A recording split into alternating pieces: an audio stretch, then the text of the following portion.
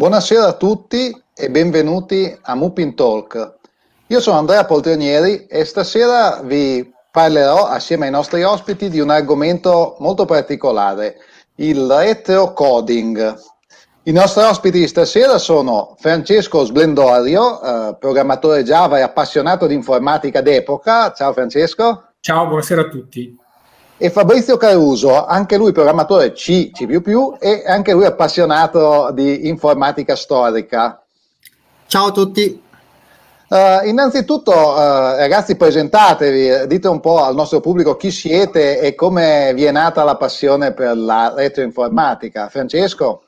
Sì, allora io, come, come hai detto tu poc'anzi, oggi faccio il programmatore Java, ma diciamo il mio mestiere nasce de, da, tanti anni fa, quando ero ragazzino. E come, come una storia comune a molti di noi, cioè, da ragazzino mio papà mi ha regalato un Commodore 16, e per altri è stato uno Spectrum o un, o un MSX, e niente, di lì è nata la passione. Non, non sapevo cosa fosse, ho scoperto che, che cosa interessante potesse essere un computer, e di lì, insomma, quindi la, il mio essere appassionato di informatica d'epoca ha radici, diciamo, nella mia storia. E tu invece Fabrizio, cosa ci dici?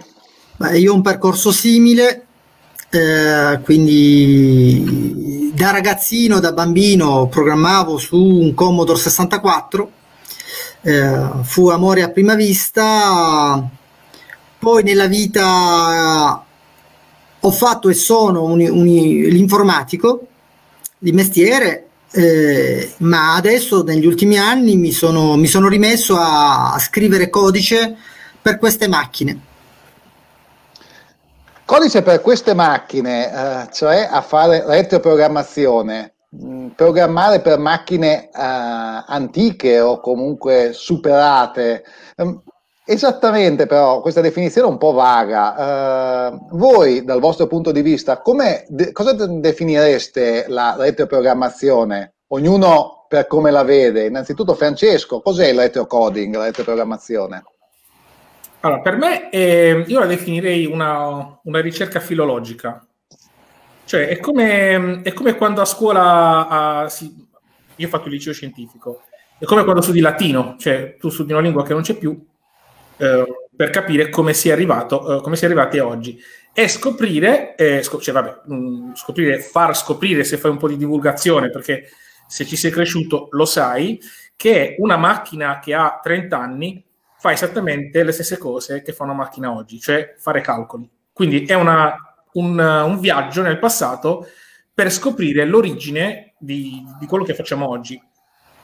A me piace questo, questo aspetto. Conoscere il passato per comprendere il presente. Esatto, ma mm, a, volte diventa anche una sfida, diventa anche una specie di gioco a incastri, perché mm, cioè, le risorse che hai oggi ovviamente sono milioni di volte quelle che avevi in passato, anche se quello che fai alla fine è lo stesso. Ed è anche una sfida intellettuale. Eh, invece, Fabrizio, tu sei d'accordo con questa definizione, questa visione della programmazione su macchine storiche o hai qualcosa da aggiungere? Sono perfettamente d'accordo perché sicuramente c'è un intento storico o archeologico, se vogliamo, cioè quello di, di scoprire il passato, di capire anche quello che siamo oggi. Quindi sicuramente questa, la definizione di Francesco è corretta. Volevo fare però un distinguo eh, non rispetto a quello che ha detto Francesco, ma sulla definizione di retrocoding, perché per capirci per me uh, retrocoding significa scrivere codice per queste macchine, per le macchine vintage, e non necessariamente scrivere codice su macchine vintage. Ovviamente si può scrivere codice uh, su macchine vintage per fare codice per le macchine vintage, ma si può anche scrivere su un emulatore, su un simulatore o addirittura si può scrivere su PC si può fare del cross development. L'argomento è vastissimo, non voglio inoltrarmi adesso su questi dettagli, però diciamo si può fare in tanti modi diversi, ma la finalità è sicuramente quella che ha, che, che, che ha dato Francesco, la finalità storica, anche archeologica, cioè scoprire cose non note, non ovvie, E poi so, c'è anche una finalità ludica, non lo nascondiamo, cioè è divertente, c'è una finalità didattica perché queste macchine, essendo più semplici e più dirette, eh, si programmano con meno astrazioni rispetto alle macchine moderne. Quindi si può mettere veramente ma- le mani nel, nell'hardware, si tocca l'hardware, è un po' come programmare un microcontrollore, quindi c'è anche l'aspetto didattico, secondo me. Interessante questo discorso dell'aspetto didattico. Potrebbe avere uh, un aspetto didattico preponderante la programmazione su, ma- su, macchine d'epoca o per macchine d'epoca, probabilmente per macchine d'epoca sarebbe più adeguata.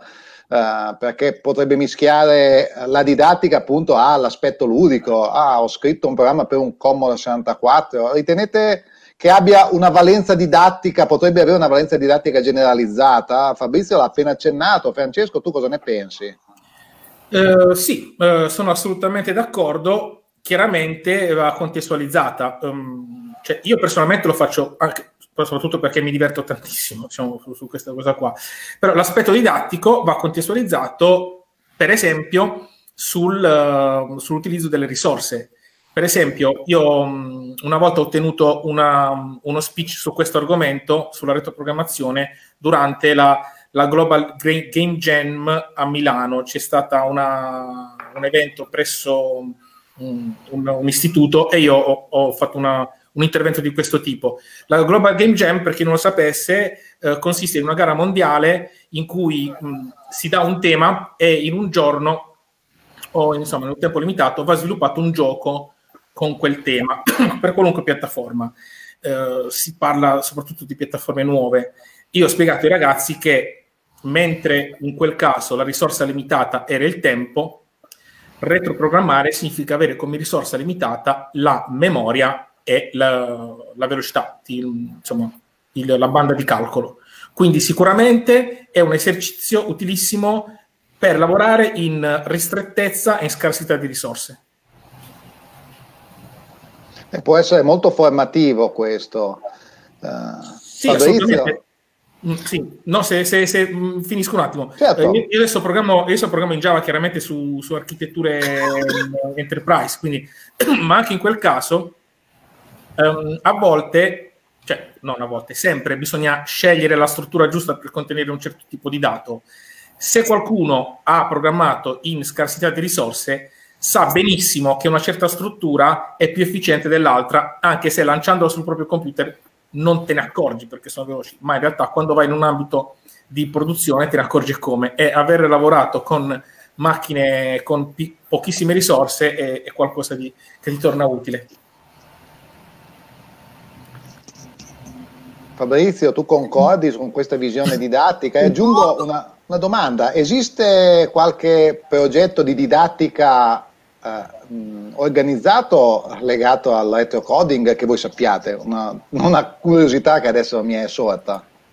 Allora, so per certo perché collaboro che esistono corsi di storia dell'informatica in cui eh, l'argomento eh, retroprogrammazione viene anche utilizzato ai fini eh, didattici. Per esempio c'è un progetto a Pisa in cui collaboro in cui si, si, scrive anche codice su macchine di, di, di, di altri tempi, insomma, per, per, conoscerle. Quindi il fatto di programmarle è finalizzato alla conoscenza di quelle macchine, è finalizzato alla storia, il fine lì è la storia e, la, l'archeologia. So anche mh, in maniera indiretta che eh, in alcuni corsi quando si studia l'assembly spesso si parte da macchine 8 bit esistenti, macchine del passato credo che si usino i Motorola 68000, alcune macchine che hanno un assembly particolarmente semplice, vengono tuttora usate in alcuni corsi, eh, soprattutto perché sono macchine che possono essere usate come microcontrollori. Esiste sui microcontrollori eh, un, molti punti comuni. Quando si programma sugli 8 bit di, degli anni 80, si programma sostanzialmente come si programma oggi un microcontrollore. Un microcontrollore oggi si programma in assembly o in C prevalentemente, i linguaggi che e, e, si programma con uh, una ristrettezza di, di, risorse estrema. Anche oggi su alcuni Arduino hai pochi K, hai, hai pochi registri, hai poca potenza di calcolo e, e, e tra l'altro alcuni strumenti di, di, di, sviluppo sui microcontrollori si usano oggi per programmare il, uh, alcune architetture 8 bit degli anni 80 che non sono mai morte, cioè lo Zilog 80 per esempio eh, esiste ancora, cioè esistono dei, de, delle CPU prodotte adesso che sono compatibili con lo Zilog 80 o col MOS 6502, ne esistono di nuovi, sono, sono a 16 bit, sono compatibili con, con, quelle architetture lì, insomma, quindi sì, esiste, eh, esistono dei punti comuni Uh, e, e, sottolineerei anche l'aspetto comune, quello della programmazione dei microcontrollori. Interessante. Eh, in questi primi minuti abbiamo saltato, uh, e Fabrizio l'ha evidenziato, tra il tema di programmare per vecchi computer, perdonatemi se, se uso una terminologia molto naif, e programmare su uh, hardware d'epoca, è una differenza di stile, è una questione ludica, è una questione pratica, è più semplice utilizzare un uh, sistema di cross development su una macchina nuova, ma è più stiloso utilizzare effettivamente una macchina vecchia. Eh, sono di, di visioni filosofiche diverse. Francesco, tu cosa ne pensi? Dipende da quello che vuoi fare. Premesso che anche negli anni Ottanta le, le, grosse software house che non fossero fatte da ragazzi che programmavano in cameretta, già allora venivano utilizzati i, i, cross, i sistemi cross developer. Chi programmava mh, mm, per uh, in sostanza il, il, NES, il Nintendo, non, non, è che programmava sul NES, perché il NES non ha neanche una tastiera. Uh, ma anche per C64 c'erano grosse software house che lavoravano in cross development. Si tratta di quello che vuoi fare. Mm, io ho fatto sia una cosa che l'altra. Mi ricordo qualche anno fa, proprio per, come dire, per fare un personale viaggio nel tempo, um, mi sono messo a scrivere su Commodore 128 in modalità CPM, utilizzando il Turbo Pascal per CPM, eh, il gioco delle, delle otto regine con una semplice interfaccia grafica. Avevo, diciamo, eh, scoperto il CPM perché all'epoca ne sentivo solo parlare, ma non avevo il, uh, il Commodore 128, non avevo il 1571 e quindi non, non potevo utilizzarlo. Ho studiato il CPM qualche anno fa, ho la sua storia, come è nato, perché è stato superato, una storia interessantissima che possiamo anche raccontare, e ho quindi voluto tornare a, a quel tempo per scrivere un gioco per Commodore 128 in CPM. E così, eh, questa è la versione DOS, questa che state facendo vedere. Comunque è molto simile alla versione che c'è su, su CPM. Eh, e ho ricopiato, è, è, un, è, gioco che quello lì per DOS che ho fatto tanti anni fa, l'ho fatto per CPM. E allora mi sono armato di una, una Reu 1750, quindi un'espansione RAM che faceva da RAM disk. Ho tenuto il computer acceso per una settimana perché è più veloce la RAM disk, con tanto di gruppo di continuità per evitare sbalzi di corrente.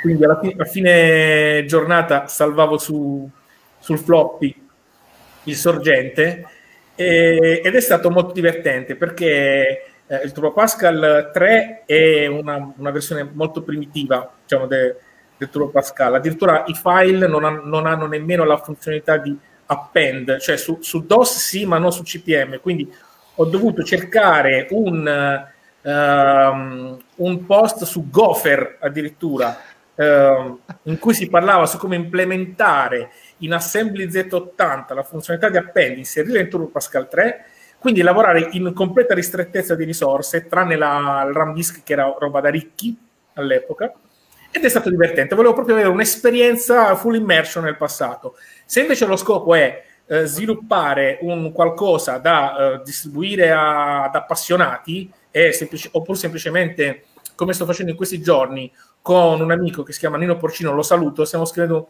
un progetto musicale per suonare con il Commodore 64, allora lavoriamo con un PC e con, con il cross compiling perché è, è, ha assolutamente senso, anzi non ha assolutamente senso non farlo. Scusate se mi sono dilungato. No, no, eh, figurati. Uh. hai vissuto un'esperienza come se tu fossi in un'altra epoca, però ricco, perché avevi il RAM disk, sì, che sicuramente non era una cosa alla portata di un ragazzo che no. sviluppava in cantina. No, però è stato Vabbè. molto bello, Volevo, mi sono proprio immerso, mi sembrava di essere di nuovo negli anni, 80, è stato come un'esperienza mistica, diciamo, è stato molto divertente. Con la colonna sonora di Ghostbusters dietro. Esatto, esatto, o Ritorno al futuro, non so.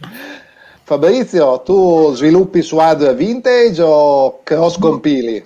Io uh, cross compilo o comunque uso un editor se devo scrivere in un linguaggio interpretato, come per esempio il Basic, lo faccio su PC, quindi faccio cross development.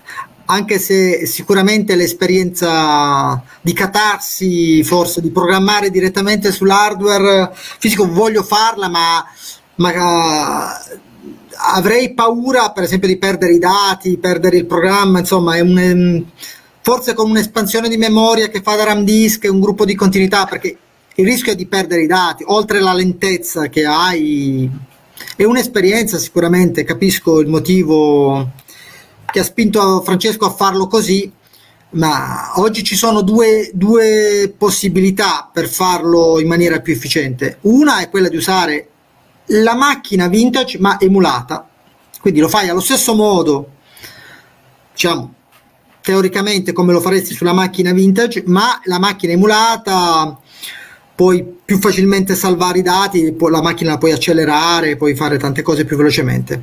E questo è, è quello che fanno molto quelli che usano, che, che, vogliono scrivere codice per macchine a 16 bit, come Amiga o Atari ST usano spessissimo la macchina emulata perché perché, perché sono macchine che di per sé sono già abbastanza potenti, su queste macchine possono girare dei, cross, dei, dei compilatori nativi, però in emulazione, ma nativi molto, molto veloci. Mentre per gli 8 bit, che sono le macchine per cui io programmo di più, eh, l'emulazione non ti aiuta abbastanza, quindi lo faccio su PC. Grazie, grazie. Eh, segnalo che un attestato di stima da un commentatore per chi programma su un Commodore 128 vero.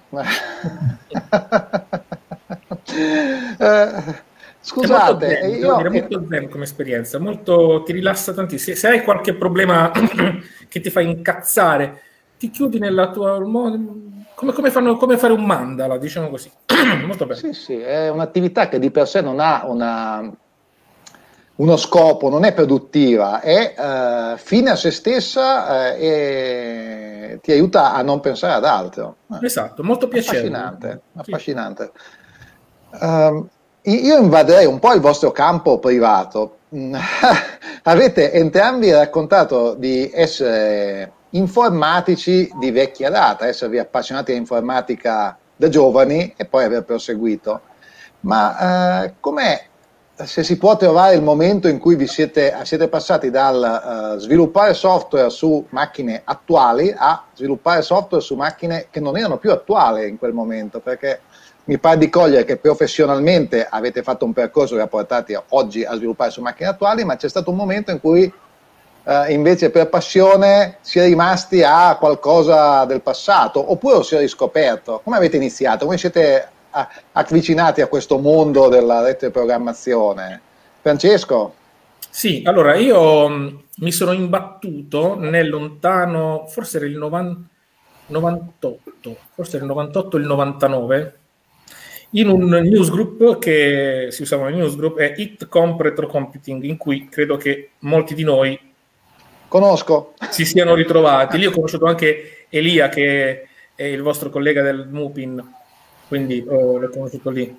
Anch'io, e, anch'io.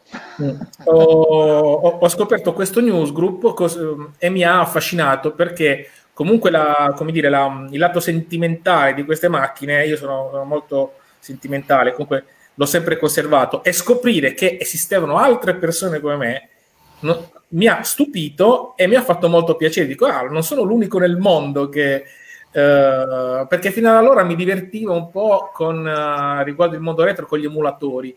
Avevo scoperto UAE, l'emulatore Amiga che girava su MS-DOS all'epoca, era UAE per DOS.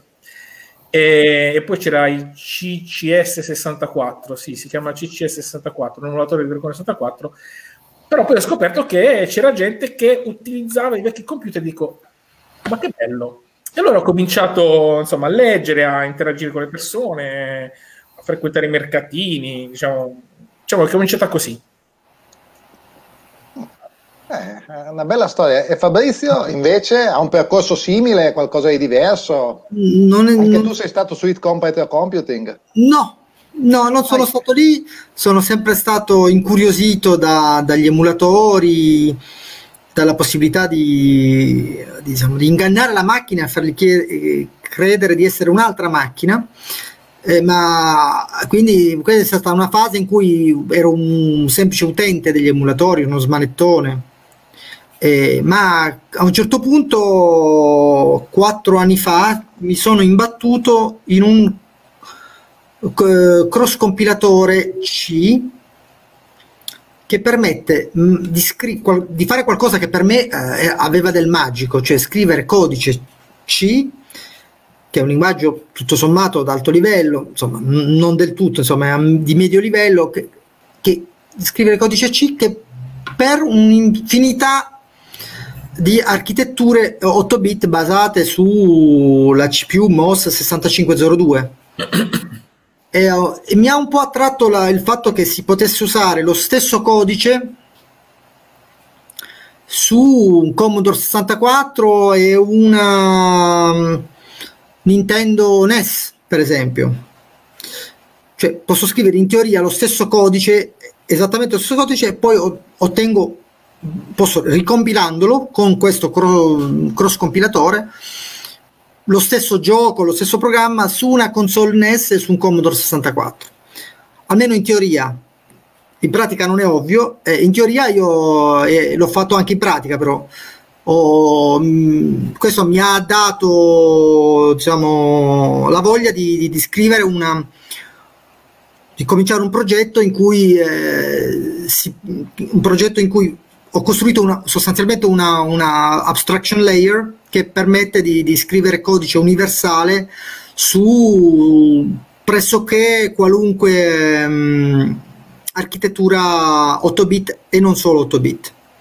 Il progetto nasce come Cross Chase, che è un, anche un gioco, ma non vuole essere limitato ad un singolo gioco, vuole essere una, sostanzialmente una, una libreria, un insieme di API che permettono di scrivere giochi universali. Questo, per esempio, che state vedendo adesso è um, un gioco, si chiama Cross Chase, che gira su Atari 800, quindi l'Atari 8 bit uh, del 1979.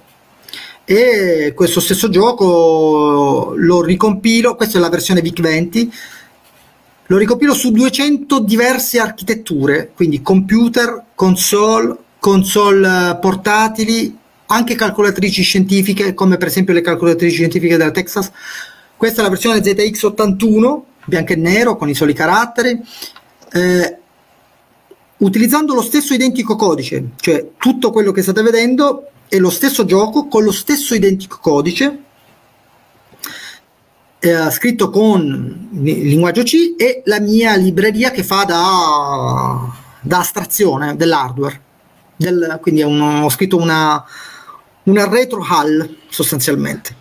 Quindi se ho capito bene, tu sviluppi su una macchina moderna, eh, compili con una toolchain attuale utilizzando un certo framework e poi compili con architetture target diverse, queste 200 architetture antiche. Non compilo con un framework, compilo con un meta framework, cioè ho un framework di framework, uso un, più di una dozzina di dev kit perché compilo per qualunque architettura o quasi qualunque architettura, per esempio sugli 8 bit uh, compilo anche per i Motorola della serie 68000 dei Motorola, ovviamente Zilog 80, MO 6502, ma anche per gli Intel 8080, anche per cose molto esotiche come i, i Cosmac 1802 che sono le, le CPU che girano su, sulle sonde spaziali sostanzialmente. Cioè wow. il mio gioco gira anche quali, su una... Quali sonde, quali sonde spaziali, non quelle lanciate oggi, credo?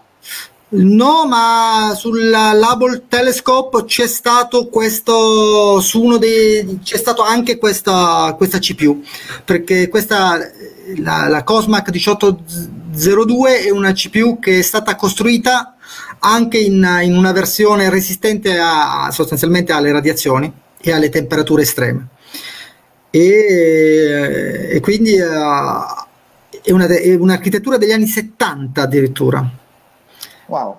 Negli Credo ultimi che... giorni sto lavorando soprattutto uh, per estendere il Mita framework, se vogliamo, li, sostanzialmente sono delle API, non è, ho semplicemente astratto l'hardware, espongo delle API comune, comuni per una miriade di architetture diverse.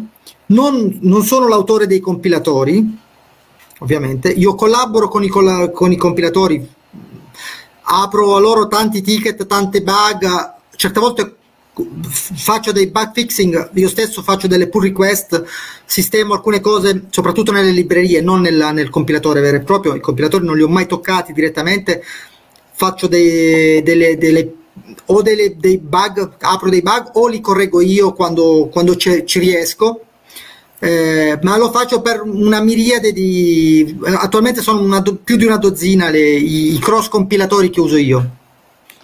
Complimenti, complimenti, un risultato tecnico di cui sei molto orgoglioso, immagino.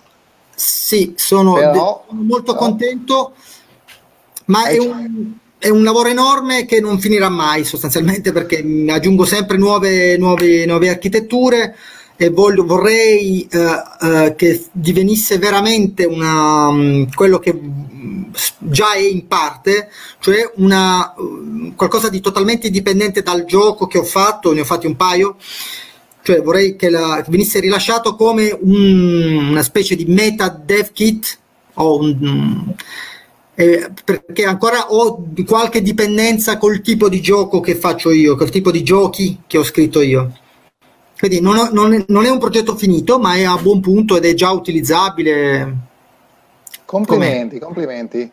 Mi dicono mitico Fabrizio dal pubblico. uh, calcolatrici Texas anche la T92? La mia amata no, T92? T92 no, eh, credo che la T92 abbia un 16 bit. Ah, Io 68.000. Eh, il 68.000. Per quello c'è un altro dev kit che devo integrare che è un GC, una variante del GCC per Texas, ma alcuni problemi, è un po' buggato. L'ho considerato, allora, la mia architett- mio diciamo, framework uh, nasce soprattutto per gli 8 bit, ma l'ho anche già esteso agli 16 bit, cioè posso compilare anche in maniera molto sperimentale per Amiga, per Atari ST. Ok, allora, allora ci, conto, ci conto di averlo per la 92 prima sì, o poi. il problema è che io dipendo da, dal compilatore. Cioè, se il compilatore eh, non mi compila il mio codice, che è in ANSI C, ho dei problemi. Comunque sì, eh, non, lo, non, lo, escludo, devo riguardarlo. Esiste una versione di GCC per, quel, per, i, per le calcolatrici Texas 16 bit. Ok, ok.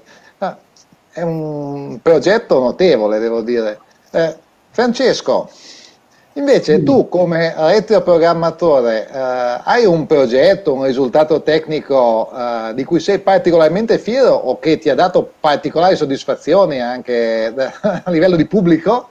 Sì, allora più di uno. Mm, cominciamo da, dal più antico, sempre quando ho lavorato con CPM. Allora, il CPM penso che sia uno degli argomenti più interessanti del mondo 8 bit in assoluto, secondo me, perché um, ecco, eh, abbiamo um, ascoltato il progetto di Fabrizio per cui lui con, con, ha ottenuto una compatibilità a livello di sorgente pressoché totale. Il CPM invece, che gira su macchine molto diverse fra di loro e che hanno in comune solo la, Z, eh, la CPU, lo, lo Z80, ha una compatibilità binaria con tutte le altre macchine che, che, la, che, che fanno girare il CPM. E, um, questa cosa che mi ha molto affascinato è um, quindi lavorare sul sistema operativo che non, non, si usa più con un linguaggio che non si usa più e che non è mai entrato oltre la fase beta. Ho, ho scoperto il Turbo Modulo 2. la Borland uh, stava sviluppando il Turbo Modola 2, non l'ha mai rilasciato. Tra l'altro, l'autore del Turbo Modola 2 è um, Odersky, che è l'autore di, di, Scala. Per chi conosce Scala, è lui che ha, ha, programmato il Turbo Modola 2, che si può scaricare come Abandonware. Eh, lo sviluppo del Turbo Modola 2 è stato abbandonato in favore poi del Turbo Pascal 4, che ne eredita una, una gran parte delle funzionalità. Quindi ho scoperto questo compilatore per, per CPM mai rilasciato e mi sono detto perché eh, non faccio proprio una ricerca filologica, cioè provo a scrivere un gioco che eh, giri su tutte le macchine CPM utilizzando un compilatore che mai nessuno ha mai utilizzato.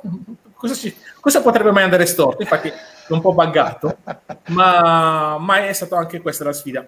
Eh, la differenza tra le macchine CPM è appunto, allora il punto di forza è il punto di debolezza, è, l'input-output, mentre per esempio le macchine MS-DOS, diciamo, l'output a caratteri spesso è ottenuto scrivendo nella memoria, con un accesso diretto alla memoria, memoria video, il CPM eh, di per sé non fornisce questa funzione a meno che non andare nel dettaglio della singola macchina, il che lo rende automaticamente non cross-platform.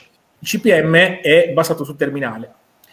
Ci, ci sono vari terminali diversi. Io ho scritto una libreria cross-terminal, non cross-platform, cross-terminal, che ha funzioni del tipo cancella schermo, posiziona cursore, cancella riga, cambia colore se disponibile o no, in modulo 2.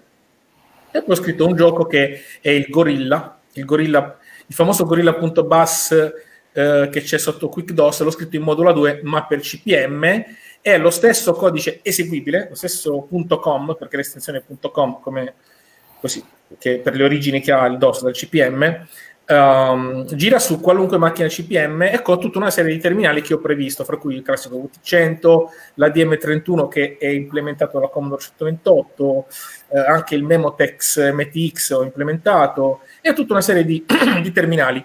È stato molto bello questo qua. a livello di pubblico, scusate, a livello di pubblico non ha avuto tanto successo.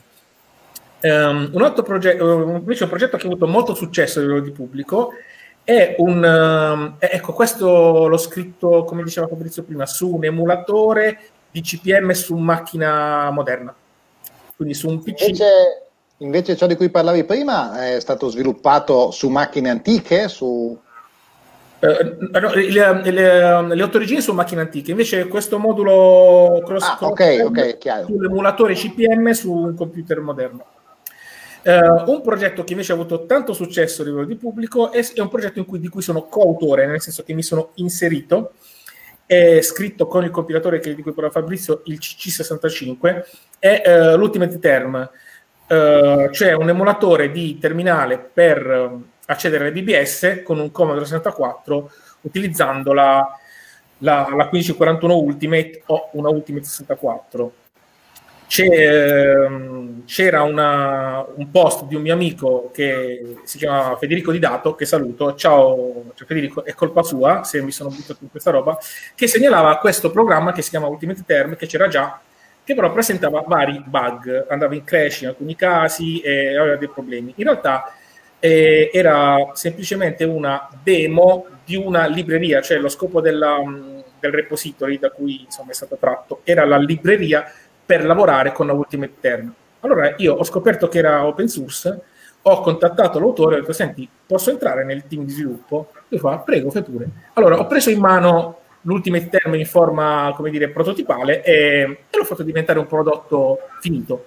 Um, è scritto in C, eh, per Commodore 128 80 colonne e per Commodore 64 ovviamente a 40 colonne e queste sono alcune BBS visualizzate che si possono navigare tra l'altro con un altro mio progetto che, di cui poi vi parlerò. E, e, e niente, adesso Ultimate Term è utilizzato più su CSDB e ha raggiunto una forma piuttosto matura. Questo ha avuto molto successo e se ho ancora un po' di spazio, vi parlo dell'altro progetto che mi piace tanto. Posso? Ma certo, se ti piace tanto. E, e che invece ha avuto più successo ancora, nel senso che ci sono delle persone che, dall'Australia e dall'America che, con cui sono in contatto che lo stanno utilizzando e questa cosa mi rende molto felice. Cioè, mh, mm, sono poche le persone con cui sono in contatto, ma il fatto che siano così lontani mi, mi, mi piace. È in pratica un framework um, che non è sviluppato su computer antichi, non gira su computer antichi, ma si utilizza su computer antichi. In che senso? È un motore eh, server, back-end, per generare delle BBS in patch. Quindi si chiama, infatti, si chiama patch BBS Builder, sono quelle che abbiamo visualizzato prima. Il computer che abbiamo visualizzato prima era la mia BBS, un esempio di applicazione. Esatto, sono solo degli esempi. Scusa, cos'è il patch? Non è detto sì, che tu hai ragione, hai ragione. Perdonami, perdonami. Il patch è il set di caratteri del computer Commodore 8 bit, che quindi comprende lettere maiuscole e minuscole, numeri, simboli grafici e uh, caratteri di controllo tipici per il cambio colore, per il posizionamento del cursore, eh, cancellazione schermo, eccetera. E somiglia molt, molto, anche se non è, non è assolutamente la stessa cosa, al um, televideo, diciamo, diciamo, così, anche se è completamente diverso. E, um, io, quello che ho sviluppato è, sta, è un... Um, questo è un televideo simulato con il mio framework. Il, uh, il, framework gira su un computer Linux o Windows ed è un processo server. Fornisce una serie di primitive, quindi un, un DSL, un Domain Specific Language, in cui il programmatore della BBS sviluppa le funzionalità. Una volta lanciata sul server, qualunque Commodore 64 collegato in rete tramite varie soluzioni che può essere il modem WiFi o la Ultimate 2 o una scheda RRNet compatibile, si collega alla BBS e niente, la, la naviga. Um, esatto, questo, questo, qui è un esempio, è la mia BBS, nel senso che utilizzo il mio framework uh, in cui visualizzo de, de, dei post, vabbè si chiama il post, il giornale, uh, di siti scritti in WordPress. Um, dovrebbero esserci delle foto anche in cui visualizzo i vostri post del Mupin, perché, perché ce l'avete in, um, in WordPress. E, um, um, queste persone con cui sono in contatto, di cui, di cui dicevo, ecco esattamente, questo è il vostro sito. Essendo in, autoreferenziale, come guardare dentro uno specchio, parla proprio no. di Mupin Talk. Esatto. questo Mupin Talk. C'è proprio il post di oggi. Eh, queste persone di cui vi parlavo sono uno è americano, l'altro è mm, australiano, hanno scritto le loro BBS con il mio framework. Di questa cosa sono molto contento. Uno di due addirittura mi ha detto no, no, non conoscevo Java, ma dal momento che il tuo progetto era interessante mi sono messo a studiare Java. Cioè questo qui non conosceva Java. Io l'ho scritto in Java perché è, è, semplicemente il linguaggio con cui lavoro più spesso e si poteva fare anche in Python o, o in altre cose. Mi qua soddisfatto.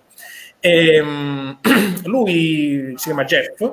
Jeff ha detto: Mi piaceva diciamo, la, la, l'architettura di questo framework, ho imparato Java e adesso ha, fatto una BBS che ecco, ha imparato Java. Poi c'è, poi c'è, stata un'altra persona che ha scritto una finta BBS, cioè una BBS che ha utilizzato per fare un video. Questo ah, questo è il Gorilla. Questo, scusate, torno indietro. Questo è il gioco Gorilla um, in CPM. Guardate, a sinistra c'è un Commodore 128 a destra c'è un Amstrad CPC 6, 600, 6128. Um, come vedete a sinistra il 128 è a colori perché um, il terminale implementato consente i colori. Invece sul CPC il terminale implementato in modalità CPM non ha i codici controllo colori, anche se di colori ce ne ha tantissimi l'Amstrad CPC. E quindi ho diciamo, downgradato diciamo, la, automatic- viene automaticamente downgradata la grafica, però il gioco è lo stesso, vedete?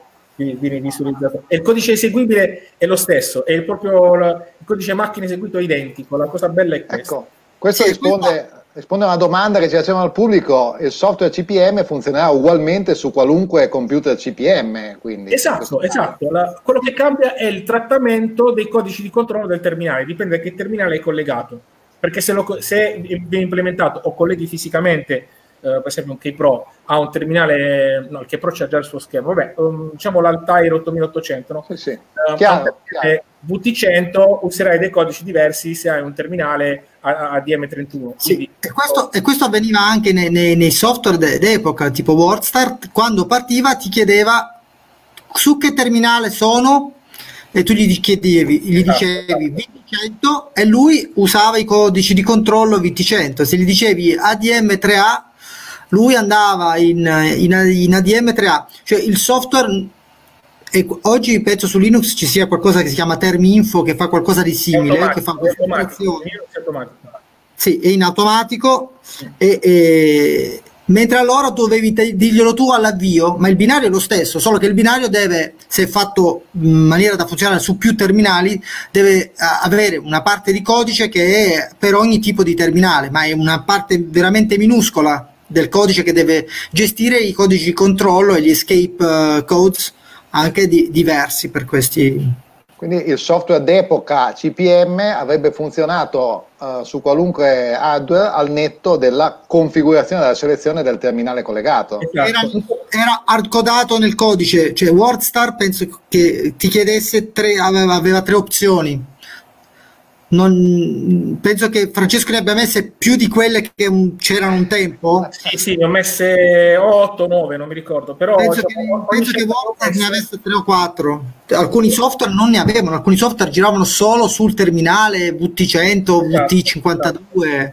Alcuni avevano l'opzione per, per essere più universali. Ecco, Quindi, magari una sfida che lancio a chi ci ascolta perché non ci sono riuscito è a implementare i codici di escape del CPM per Commodore 64, perché Commodore 64 ha una cartuccia Z80 con cui puoi eh, lanciare il CPM. Va lentissimo, che è una cosa incredibile.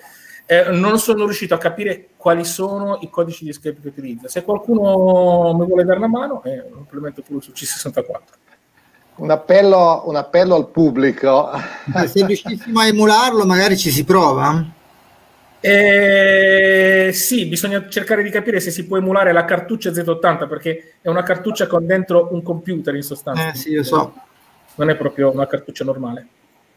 E non doveva neanche essere una cosa molto diffusa, sarà stata anche piuttosto no. costosa. Costosa e poi girava soltanto su, alcuni, su alcune revisioni della scheda madre del 64. Quindi una cosa... Sì, una cosa veramente di nicchia. Sì, sì. Uh, i software che avete citato ora, che avete sviluppato, uh, se si potessero mandare indietro nel tempo, sarebbero software di successo, di grande uso.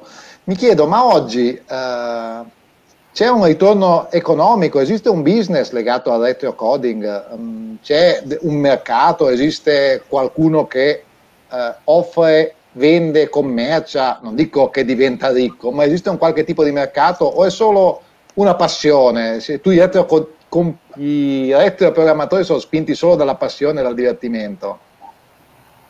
Allora, eh, rispondo io? Ah, prima Francesco, uh, poi Fabrizio. Ok, uh, allora io personalmente non ci guadagno niente, non credo che nessuno comprerebbe mai il mio lavoro, non credo. Però c'è chi fa dei lavori veramente di qualità anche industriale. E, ehm, e ora non mi, Psitronic credo si chiami. Ci sono delle, delle piccole aziende fatte da poche persone che fanno dei giochi uh, per, com- per, Plus 4 e per C64, li vendono anche su cartuccia. Di solito è, c'è il download libero o con offerta libera, più per i collezionisti, ehm, chi vuole l'oggetto fisico vendono um, proprio la cartuccia e sono dei, gioiellini. Sono veramente belli. I giochi sono scritti con una cura uh, maniacale, eh, veramente io li ho preso ne ho preso tantissimo. Per esempio c'è Canabalt, di cui c'è anche la, si può scaricare gratis, ma c'è anche la cartuccia ed è un bellissimo oggetto da, anche per incentivare il lavoro di queste persone. Con Canabalt addirittura con un gruppo di amici per una, per una primavera, inte, primavera e inizio estate in un bar di Milano abbiamo fatto un torneo e alla fine eh, il vincitore ha vinto un Siga Mega Drive quindi, wow. quindi c'è, chi, c'è, chi, riesce a... Chiaramente non diventi ricco, la cartuccia costa 4, 5 euro, 6 euro, 10 euro, non è che puoi vendere...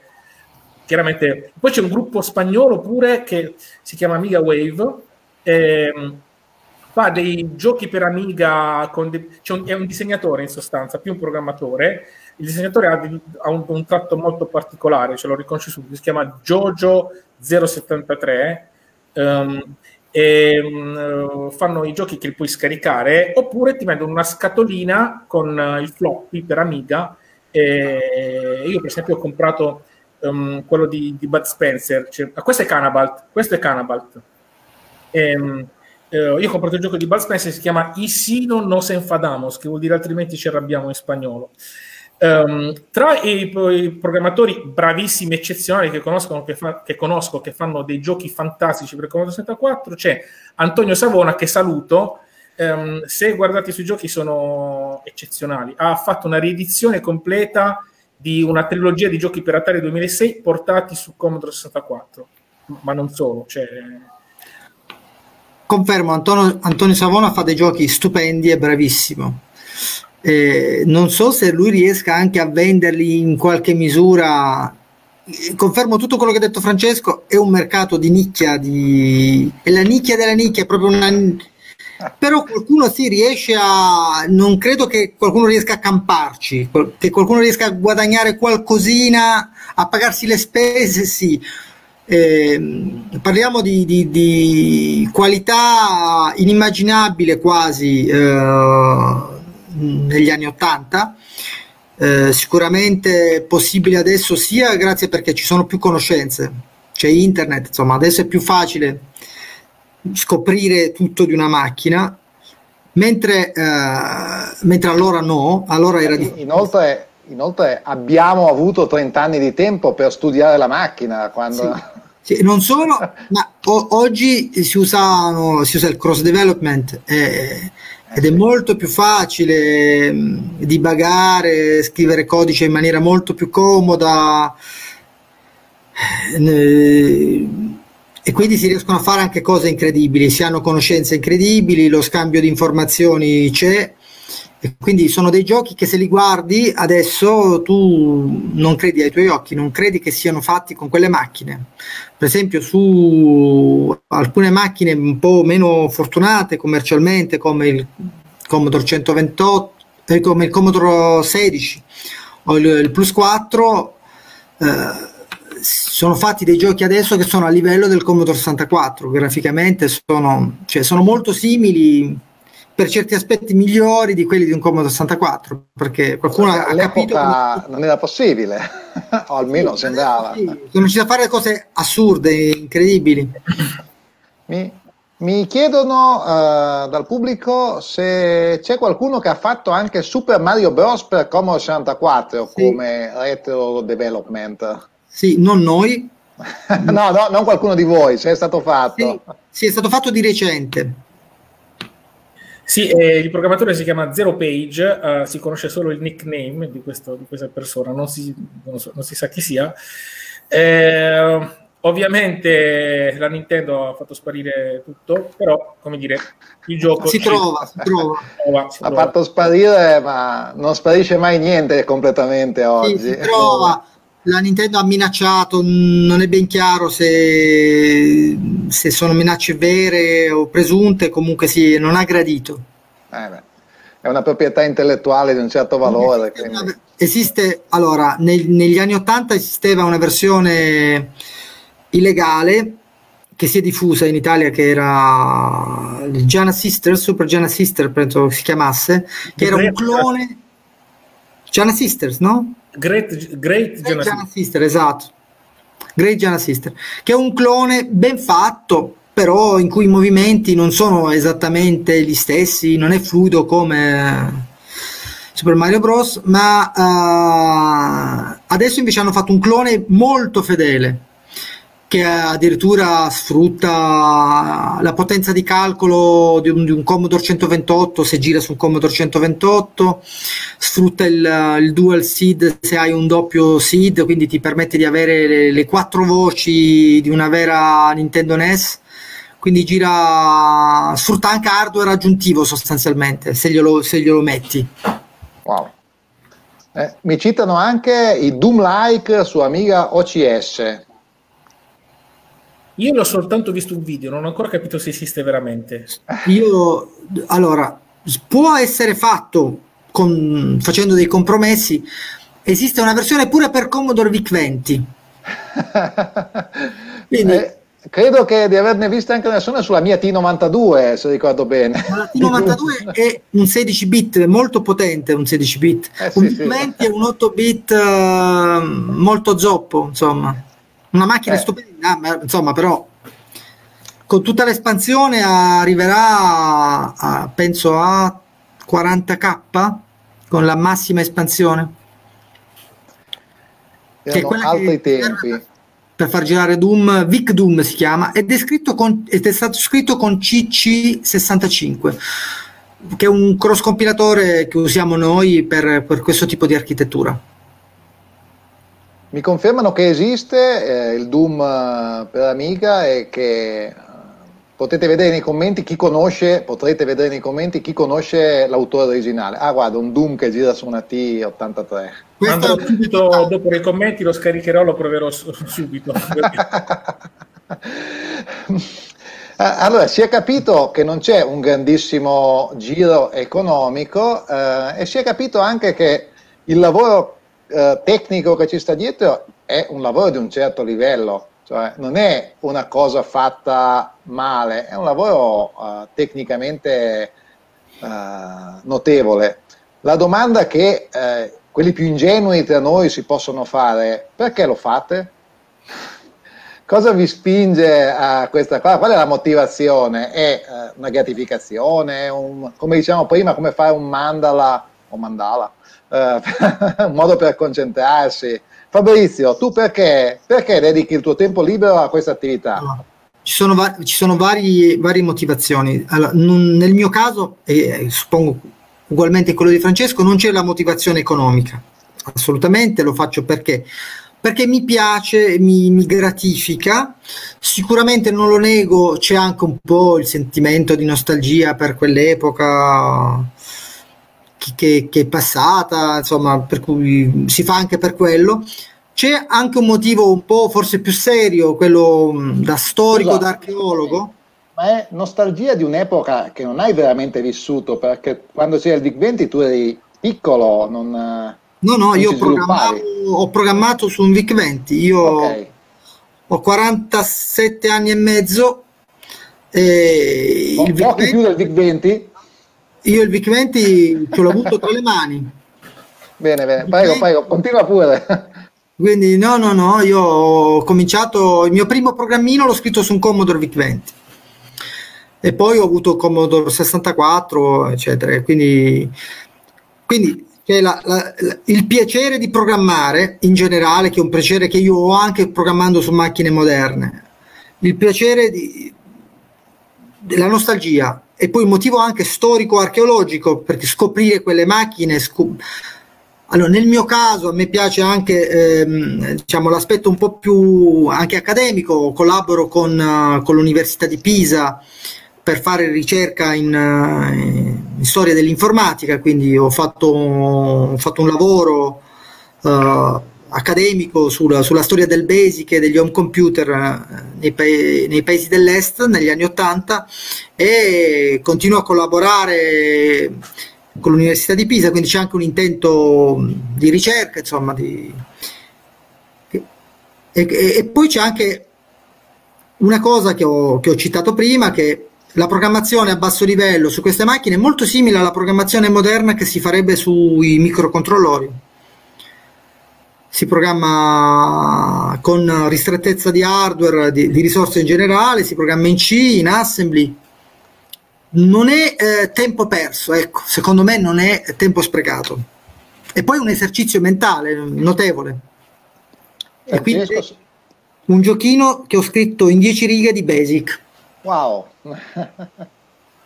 Francesco, sei d'accordo? Assolutamente sì. Uh, in più aggiungo a livello personale la, la, curiosità e il desiderio di mettere mani su computer che da quando ero un ragazzo o un ragazzino ho desiderato ma non potevo avere perché non potevo comprare tutto quello che volevo. Mi ricordo all'epoca c'erano i Papersoft, il, um, delle, per chi non lo conosce erano delle rivistine, ma penso che li conosciamo tutti, sono delle rivistine in cui c'erano programmi da copiare per diversi computer. E c'era per C64, per Spectrum, per T99. Io mi divertivo, io avevo il Commodore 16 e poi il Commodore 64 ho avuto, sul, quando avevo i Papersoft e usavo un Commodore 64 e mi incuriosivo delle altre piattaforme, quindi leggevo, quindi come dire, eseguivo nella mia mente eh, il software per le altre piattaforme. E per esempio il Basic 64 era poverissimo e leggevo invece comandi draw, plot, circle per Spectrum, perché chissà co- che cosa fanno, posso disegnare un cerchio senza fare casino con le pic, le bocche, che figata. E, ehm, e poi mh, mi sono divertito un po' che con gli emulatori, per esempio per C64 c'era un simulatore di Spectrum, non un emulatore perché il linguaggio macchina ovviamente non poteva eseguirlo essendo la CPU diversa, però il Basic lo implementava molto bene. E quindi poi col, col simulatore di Spectrum mi ero divertito a copiare i programmi per Spectrum. E quindi quando è arrivata la, la, la, la passione retrocomputing ho detto adesso me, me, me, me, li procuro, me li compro e mi metto a, a divertirmi con lo Spectrum vero, no? con i tasti di gomma. Mi sembrava qualcosa di molto esotico, mi, molto bello, ma anche altri computer. 128 da, da, negli anni 80 non ce l'avevo però leggevo gli stati, dicevo che bello i comandi per gli sprite, che bello, e adesso, adesso lo faccio. E niente, questa è una demotivazione. Gli altri concordo con Fabrizio, cioè il lato storico, per esempio, um, se si studia in Basic del Commodore 64, che questo è Papersoft, come la generazione dei numeri casuali, in Java o C Sharp funziona esattamente lo stesso identico modo. Quindi uh, capire che molte cose non sono cambiate Um, capire come invece altre cose sono cambiate. Per esempio, in, nei linguaggi moderni, Java, C++, C Sharp, quando si, c'è un if, una valutazione di un'espressione booleana, c'è uh, la short circuit. In sostanza, devo, se devo controllare una condizione, faccio un esempio, and una seconda condizione, se la prima condizione è falsa, la seconda neanche la vado a guardare. Questa cosa qua sembra un semplice discorso di ottimizzazione che in passato non c'era. In realtà non è solo ottimizzazione, perché si può fare in modo di... Mh, mm, cioè, se, se, non c'è la, la, la, la short, short, circuit evaluation, tu, entrambe le condizioni vanno valutate e potrei avere dei, um, delle condizioni al contorno in cui la seconda condizione genera un errore durante la valutazione. Non so se riesco a spiegarmi, forse sono troppo complicato. Ho scritto un articolo su Retro Academy. Se cercate Short Circuit Evaluation su Retro Academy trovate la spiegazione in, in italiano, non in, eh, in, non so, in confusionese, come sto dicendo adesso. Ho scritto proprio un articolo con degli esempi, con vari linguaggi, con più compilatori dello stesso linguaggio. Uh, quindi com- come le cose sono cambiate anche nel mondo de- de- dei compilatori, quindi come ci si è evoluti.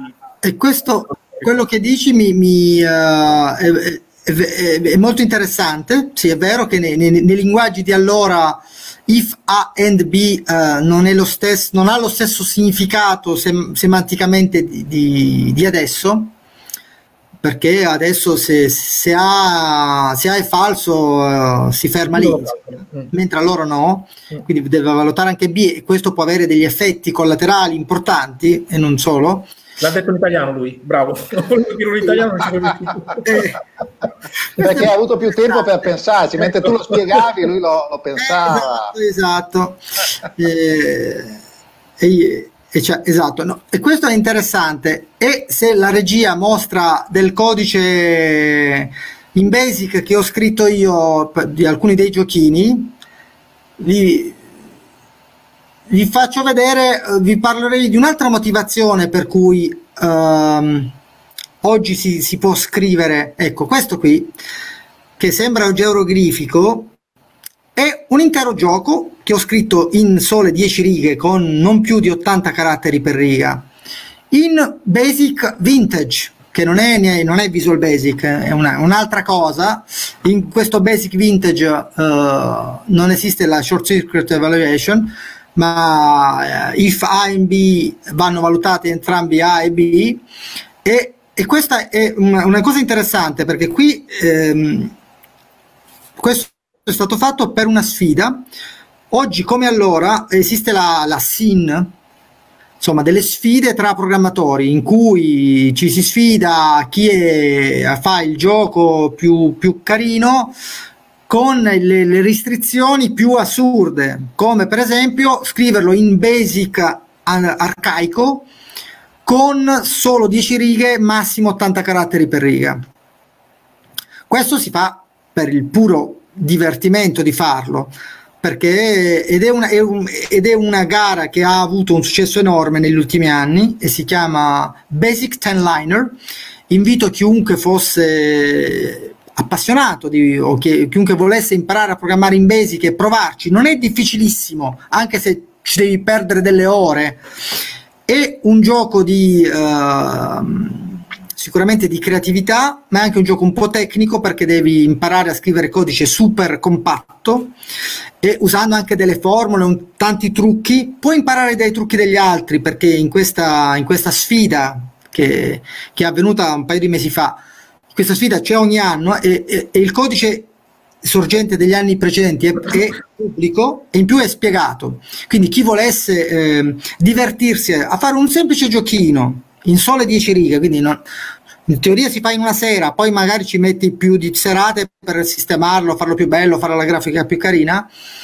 Eh, è una sfida diver- divertentissima, è un po' anche un gioco ad incastri, una specie di un sudoku, un Tetris se vogliamo, perché, perché non potendo superare gli 80 caratteri per riga e non potendo mettere eh, troppi if, perché un if eh, in basic di quell'epoca, non avendo blocchi, non, non ci sono i blocchi del, del, del C, del, del, Java, del JavaScript, praticamente ti, ti, ti sprechi, sprechi, una riga, ogni if sprechi una riga.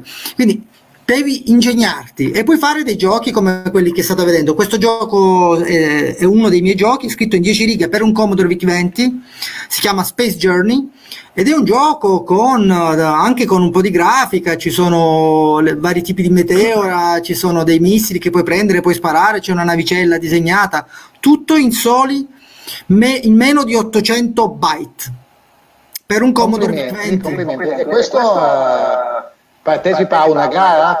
Non ha vinto, anche se a me è piaciuto tanto. Come, come sei classificato?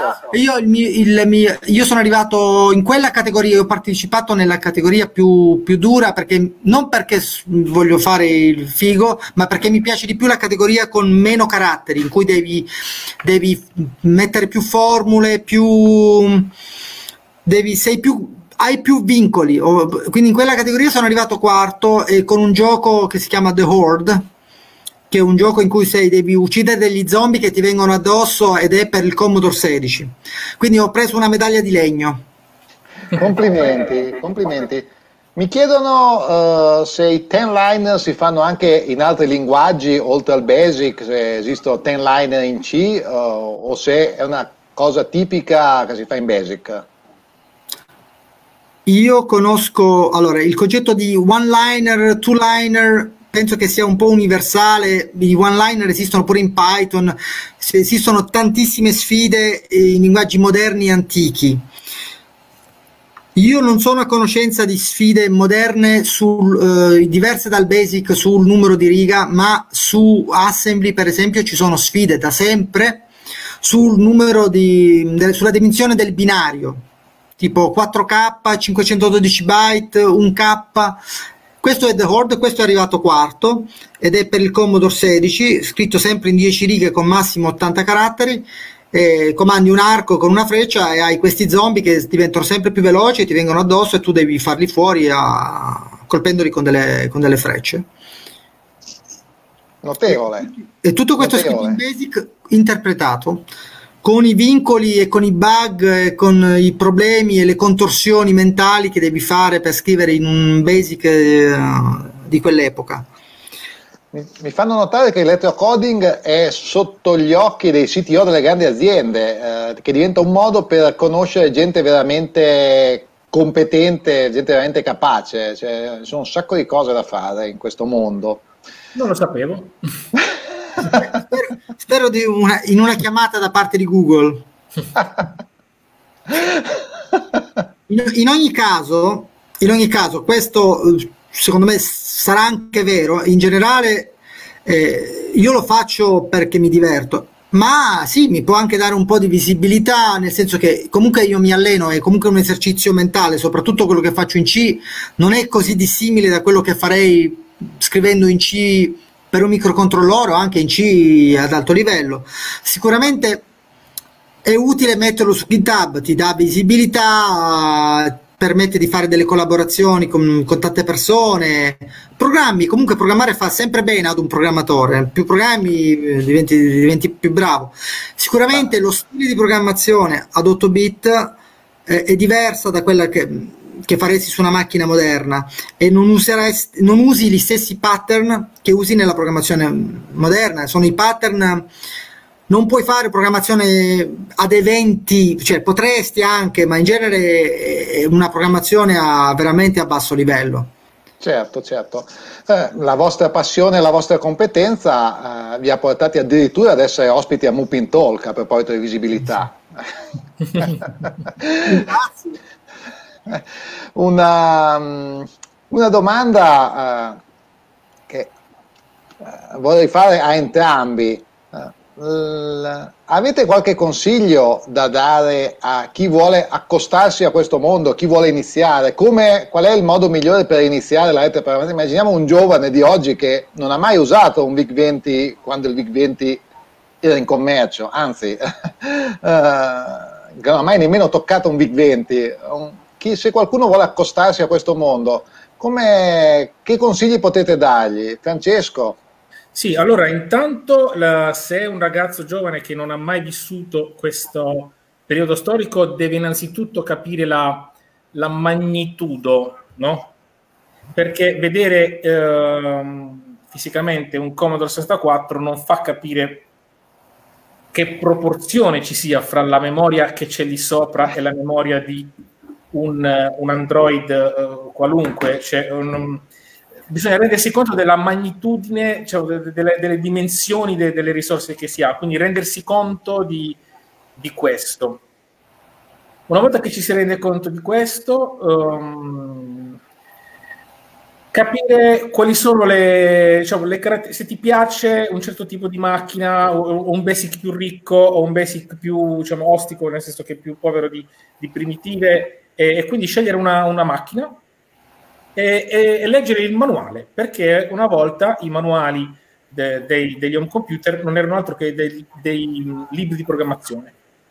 Se tu leggevi il manuale sì. del Commodore 16, imparavi a programmare. Questa è una cosa verissima e importantissima. Il manuale d'uso del Commodore 64, per chi ce l'avesse, per chi non ce l'ha lo, lo trova su internet in PDF. Il manuale d'uso era un manuale di programmazione cioè, inimmaginabile adesso ti compri un, non lo so, un Acer, un Asus, un laptop e, e ti, non ti danno un manuale di, di 150 pagine in cui c'è, c'è, scritto come si programma. Allora era così.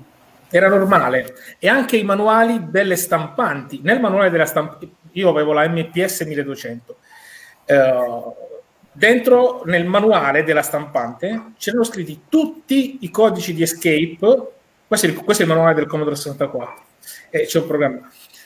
Nel manuale della stampante c'erano scritti tutti i codici di escape necessari per farti un intero driver.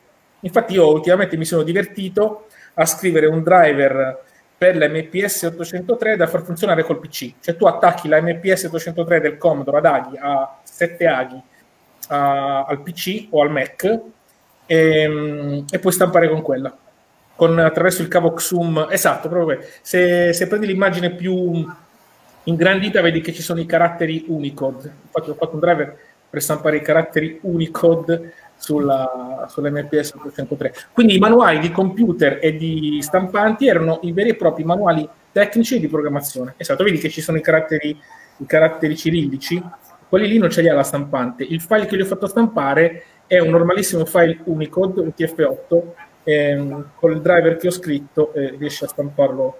Caratteri greci sono pure, c'è una scritta in danese, credo. Non ti chiediamo di tradurli, di tradurli, in italiano quello che c'è scritto. È la canzone, la calinca. Fabrizio, tu invece un consiglio da dare a chi inizia questo percorso? Allora, se, se, il percorso è, è, è, veramente qualcuno che vuole non solo appassionarsi alla storia, all'uso di queste macchine, ma vuole programmarle, penso che uh, non lo troverà molto difficile perché queste macchine sono più, più dirette. Oggi, oggi, si programma con astrazioni, con pattern molto, molto, molto lontani dall'hardware allora si programmava in maniera molto vicina all'hardware. Ripeto l'analogia col microcontrollore, ma allora era ancora più semplice che programmare su microcontrollore perché si programmava direttamente con il chip grafico. Quindi, per esempio, programmare, prendere un qualunque computer 8 bit e eh, o con il manuale o con eh, documentazione che si trova facilmente online, incominciare a programmare in Basic, per esempio, non, non, non, non andrei direttamente sull'assembly o su altre cose. È un, una cosa che farei anche per scoprire eh, com'era la programmazione su quella macchina. Poi io, io che, che sono un retroprogrammatore atipico, io potrei consigliare a molti di usare degli strumenti di cross development come eh, CC65 o Z88DK che sono dei, dei dev kit per scrivere codice C eh, su architetture Zilog 80 o MOS 6502. Questo è per chi già conosce il C e vuole produrre un programma per quelle architetture. Ma altrimenti sicuramente partire dal basic per scoprire la macchina e sarà facile per chi ha un minimo di dimestichezza con la programmazione. Grazie, grazie. Uh, ci sarebbero ancora forse molte, molte altre cose da dire uh, su questo argomento. Siamo qui ormai da più di un'ora a parlarne. Uh, magari ce le riserviamo per un futuro incontro, chi lo sa. per stasera io ringrazierei innanzitutto i nostri ospiti e ringrazio il pubblico che ci ha guardato in diretta e ringrazio il pubblico del futuro che ci guarderà in differita. Un saluto dal passato. Uh, ragazzi, la parola a voi per salutare. Prima Francesco. Allora, grazie de, insomma, di questa intervista, è stato molto piacevole e insomma, magari ci sarà un'altra occasione. Un saluto a tutti. Fabrizio. Grazie per questa opportunità. Uh, eh, spero che voi po- potrete seguirci nei, nei, nostri, nei nostri progetti magari metteremo anche dei link uh, dei, dei, dei, nostri progetti che potrebbero anche coinvolgervi in qualche modo e vi, vi ringrazio per averci, per averci, seguito. Ciao, a presto. Grazie a tutti, uh, buona serata, arrivederci alla prossima.